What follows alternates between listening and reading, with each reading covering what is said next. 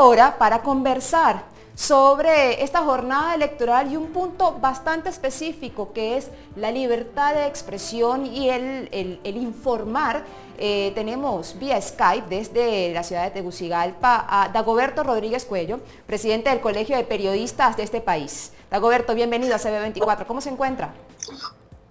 Muy bien, muchas gracias Andrea. Gusto en saludarte. Un saludo a todo el pueblo costarricense.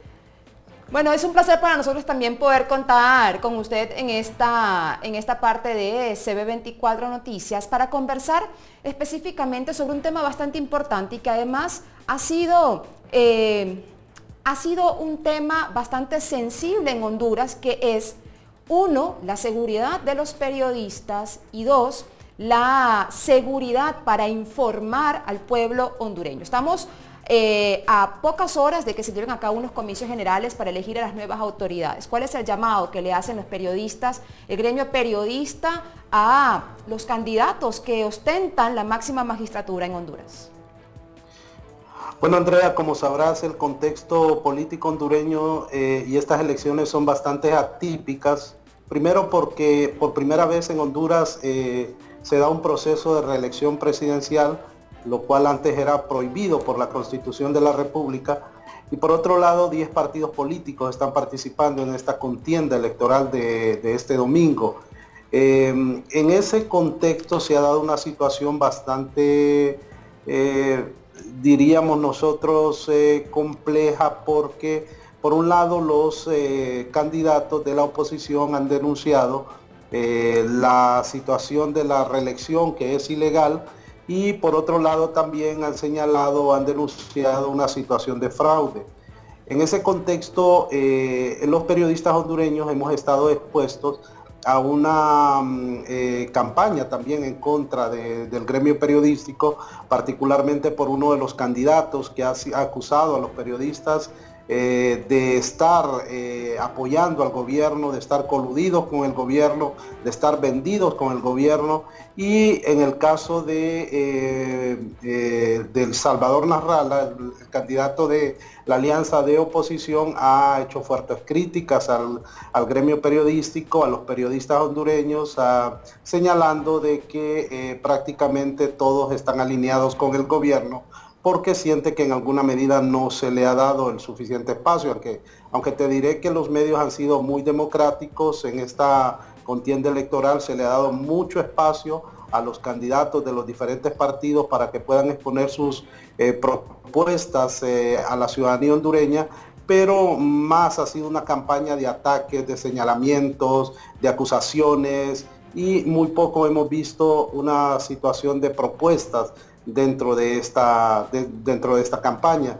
Eh, eh, así. Sí, perdón, es que eso precisamente te quería preguntar, Dagoberto, porque nosotros los periodistas, pues, eh, de alguna manera nos acostumbramos a que nos ataquen porque informamos y a veces al el informar la verdad, pues nos convierte a nosotros en, en, en el ojo o en el objetivo del ataque específico de quien se siente aludido. Pero más allá de, eh, pues, ejercer el, el derecho a informar, los candidatos o porque me estás hablando son 10 candidatos, estos 10 candidatos realmente han mostrado sus propuestas, tienen propuestas distintas, es más de lo mismo. ¿Qué dice el pueblo hondureño?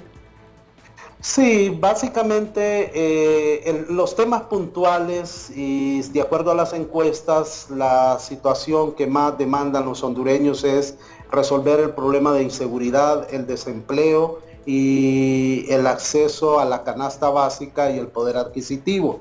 Frente a esos grandes problemas, eh, los candidatos han presentado algunas propuestas, pero eh, básicamente eh, no son nada contundentes, es decir, ofrecen empleo pero de manera generalizada. No dicen cómo lo van a lograr, ni cómo van a hacer, ni cómo van a reducir la alta tasa de desempleo. Igualmente el tema de inseguridad, eh, aquí se ha, en este gobierno se ha eh, hecho un, digamos así, un fuerte trabajo para poder reducir los niveles de eh, violencia, homicidios, particularmente reduciendo la tasa de casi 80, 80 90% a cerca de 40, 50% en este último año. Eh, frente a eso, realmente las propuestas de los candidatos han sido eh, bastante vagas, no han sido muy concretas.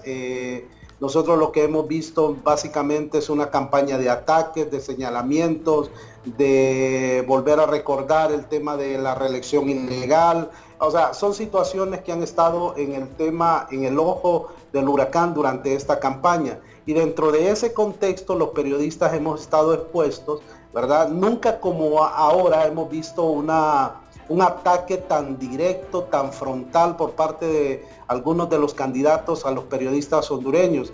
En otras ocasiones pues han sido ellos los que se han atacado, han señalado, pero esta vez eh, ha entrado dentro de este dentro de esta escenario los eh, miembros de la prensa señalándosele de corruptos, de vendidos, de que estar apoyando al gobierno, es decir, una serie de epítetos que al final eh, han afectado en alguna manera eh, la credibilidad de los periodistas hondureños.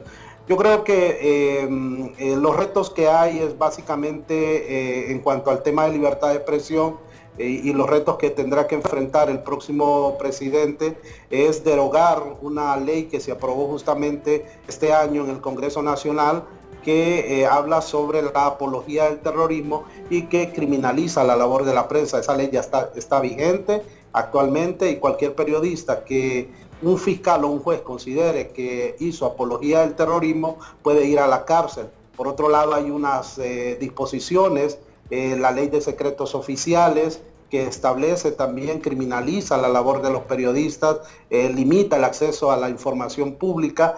Eh, es decir, hay una serie de situaciones que se conjugan, por un lado el tema de violencia por parte de los candidatos hacia la prensa y por otro lado las limitaciones legales a la libertad de expresión que existen en este momento en Honduras. Dagoberto, en un punto específico, el punto este de la las reformas que se hicieron a la ley, que eh, habla de la apología del delito y que de alguna manera invitaría a la prensa a la autocensura, ¿verdad? Porque nos tendría, la prensa hondureña, tendría a veces que autocensurarse para evitar, eh, dependiendo del juicio de cada, eh, de cada juez, valga la redundancia, caer en apología del delito. No se había hablado de que se iba a crear una comisión eh, en la cual que iba a estar acompañada también por el Colegio de Periodistas para tratar de reglamentar esta reforma de forma tal que eh, pues el periodista no se convirtiera en el objetivo de la justicia. Sí, en efecto hubo algunos acercamientos con el Congreso Nacional, con la presidencia del Congreso Nacional, eh, de parte de tu servidor y la Junta Directiva actual, eh, sin embargo, los análisis que hicimos eh, por parte de juristas, este, consultamos juristas especialistas en materia de derechos humanos, el Comisionado Nacional de los Derechos Humanos, este, abogados constitucionalistas y al final, al final llegamos a la conclusión que no podíamos eh, respaldar una, una, reforma, una modificación a ese artículo, porque en su esencia vulnera el principio de la libertad de expresión. De modo que lo que planteamos nosotros en, esa, en la comisión que se organizó es que lo mejor era que se derogara totalmente el artículo 335b que habla sobre la apología del terrorismo. Sin embargo, no hubo voluntad por parte de los diputados eh, en derogarlo, se hizo la reforma se pidió la consulta a la Corte Suprema de Justicia y se interpusieron varios recursos de inconstitucionalidad ante la Corte Suprema de Justicia. Eso está pendiente, el, Poder Judicial no lo ha resuelto. Imagino que por la situación política que hay actualmente en el país, eh, nosotros lo que estamos considerando es que si no va a haber una derogación de este artículo que vulnera, como te repito, en esencia, el principio de la libertad de expresión, eh, establecida en la Constitución de la República, eh, tendremos que acudir a instancias internacionales, en este caso ante la Comisión Interamericana de Derechos Humanos. Bueno, Dagoberto Rodríguez, presidente del Colegio de Periodistas, ha sido un placer que nos acompañaras en estos minutos aquí en CB24 Noticias. Sin duda el pueblo hondureño está invitado este domingo a ejercer su derecho al voto. 30 segundos para un mensaje a esos hondureños que aún están indecisos por votar pues finalmente invitar a todos nuestros compatriotas a que voten, que realmente busquen aquellos candidatos que opten por aquellos candidatos que realmente hayan ofrecido propuestas reales y que tengan una trayectoria de ética y de moralidad.